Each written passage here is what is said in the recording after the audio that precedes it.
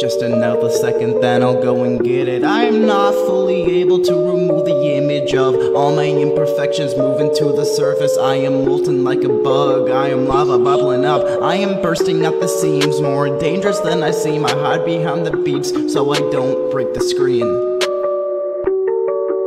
I am fire, I am flames, I feel burning in my veins, I am completely drained, yeah. Time to call the therapist, I have turned nefarious. All the kids are blaring this, empowering the scariest thoughts that they have. Make them seem like they're glad when really they're all mad. Soak it up with the pad, choke it up with the dab, fix the scars with the song, write it out so they're not lost.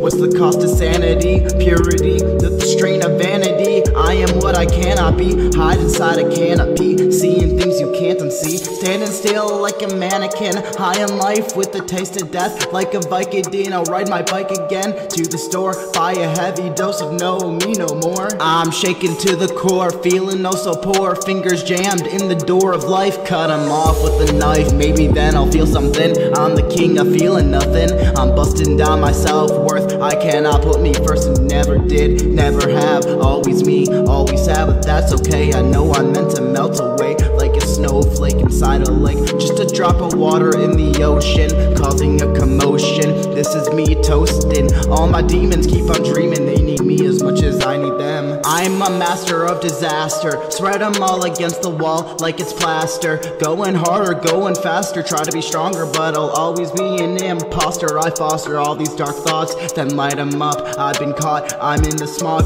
I just burn like a log in the flames of loneliness. I'm a bitter mess, disastrous, oblivious to everything around me. It's astounding, my heart is always pounding. Yes, sometimes I don't feel a thing, it's like I'm living in a dream. Not that I'm awake, but I still try to take my time. Every rhyme crafted, every line drafted. Yet again, erratic, I'm sporadic, hide inside the attic. I'm an addict, addicted to writing about the pain, whether it's mental, physical, emotional. I write it out like it's a devotional. Live my life based how I lived it then. Maybe that's why I can win, but yet somehow I can spend every waking moment in denial and defile everything I ever did and never change a thing. Guess I really do live inside a dream.